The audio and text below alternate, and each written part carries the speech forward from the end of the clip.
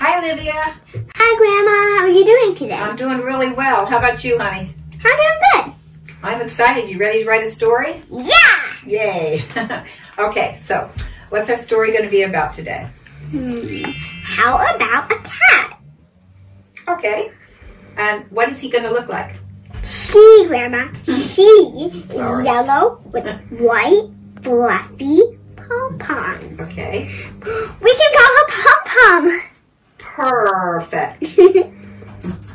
okay, what other details does Pom Pom have? Hmm. Well, she can have wait, she can have a collar with a ruby jewel. It can be a gift from her mother.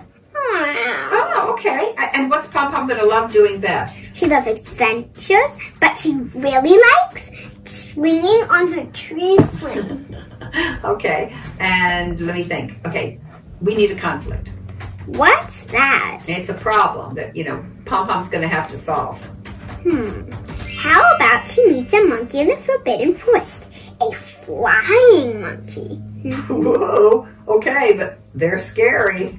He isn't because because he has white, shiny, angel wings. wow, okay.